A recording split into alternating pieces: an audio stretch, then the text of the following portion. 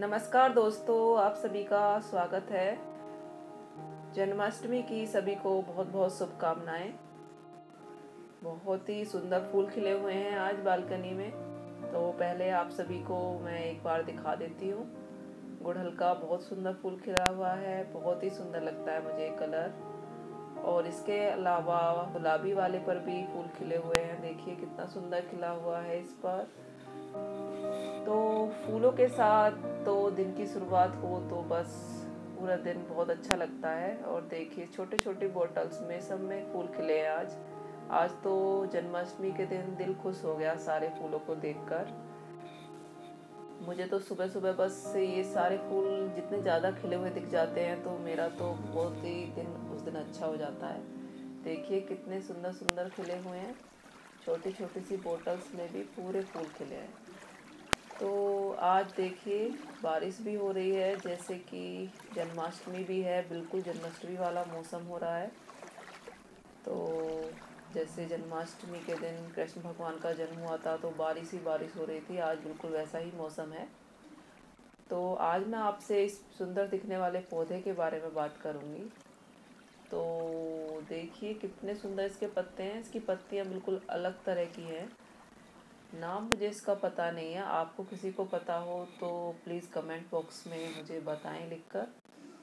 इसकी पत्तियाँ इस तरह की होती हैं। जितनी इस पर पत्तियाँ नहीं है, उससे ज़्यादा इस पर फूल आते हैं। देखिए, आज इस पर भी फूल आए हुए हैं। ये सब भगवान की कृपा है। एक साथ दो दो फूल आए हैं इस पर। और कितना सुंदर लग रहा है ये।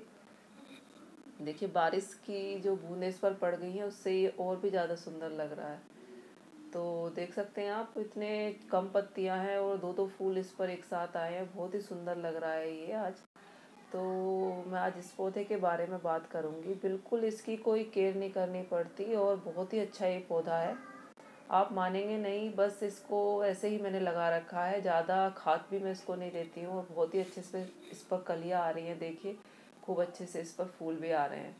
और ये हमेशा फूल देता है, ऐसे नहीं है कि सर्दियों में देगा कि गर्मियों में देगा। ये इस पर हमेशा फूल आते हैं और कई कलर्स में ये पाया जाता है। तो आप इस प्लांट को ज़रूर लाएँ और इसका नाम अगर आपको पता हो तो मुझे प्लीज़ बताएँ। देख सकते हैं आप, कितना सुंदर पौधा है ये। मैं इसलिए आपको दिखा रही हूँ ताकि आप अच्छे से इसको देखें और आप इसका, अगर आप में से किसी को इसका नाम भी पता हो तो मुझे बताएँ। और देखिए मिट्टी आप देख सकते हैं। जैसे अब ये गीली है, बारिश भी हो रही है तो मैं पानी नहीं दूँगी। बस आप अगर गमले में आपने पौधे लगा रखे हैं तो इन चीज़ों का ध्यान रखें कि आप ओवर वाटरिंग ना करें। सबसे पहले तो गमले की मिट्टी अच्छी बनाएँ। मिट्टी अच्छी होगी तो पौधा अच्छे से चलेगा। रेत और मिट्टी मिक्स कर कर अच्छे से मिट्टी बनाएँ। ड्रेनेज होल सही हो आपके गमले का। और एक पानी आप ज़्यादा ना दें। जब पानी आपको लगे कि ऊपर से इसकी परत सूख रही है मिट्टी की, तभी आप पानी दें। गमलों में हम यही गलती करते हैं कि ज़्यादा पानी दे देते हैं और हमें पता ही नहीं चलता कि हमारा प्लांट कैसे सूख गया, कैसे ख़राब हो गया, उसकी जड़ गल जाती हैं। तो इन चीज़ों का आप ध्यान रखें, बहुत ही अच्छे से आपके गमले में पौधे चलेंगे। और देखिए, आज आप जन्माष्टमी है, बहुत अच्छे से आप जन्माष्टमी मनाएँ और खूब सुंदर सुंदर फूलों के साथ, पौधों के साथ अपनी जन्माष्टमी को सेलिब्रेट करें। इसके अलावा आप देख सकते हैं कि सारे प्लांट बहुत अच्छे से चल रहे हैं। बस मैं इन्हीं चीज़ों का ध्यान रखती हूँ कि गमले में मेरे से कभी भी ओवर वाटरिंग ना हो। सबसे ज़्यादा खतरा जब हम पौधे लगाते हैं गमले में, बस यही रहता है कि हम पानी ज़्यादा दे देते हैं और हमें पता ही नहीं चलता और पौधे हमारे ख़राब हो जाते हैं।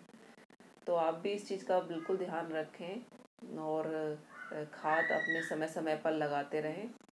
बारिश का मौसम है तो ऐसे में तो वैसे भी ज़्यादा पानी की कोई इतनी ज़रूरत नहीं है।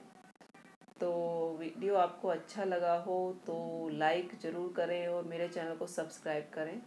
देखिए, ये टर्टल वाइन जो हमने लगाई थी कटिंग से अभी कुछ दिन पहले, इतनी जल्दी से ये चल भी गई और पूरी बोतल को इसने भर लिया है। कितनी सुंदर लग रही है ये।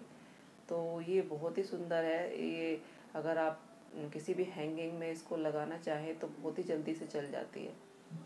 तो अगर आपने अभी तक मेरे चैनल को सब्सक्राइब नहीं किया है तो ज़रूर कर लें और अच्छी अच्छी वीडियो आपको देखने को मिलेंगी। तो मिलते हैं नेक्स्ट वीडियो में। तब तक के लिए थैंक यू वेरी मच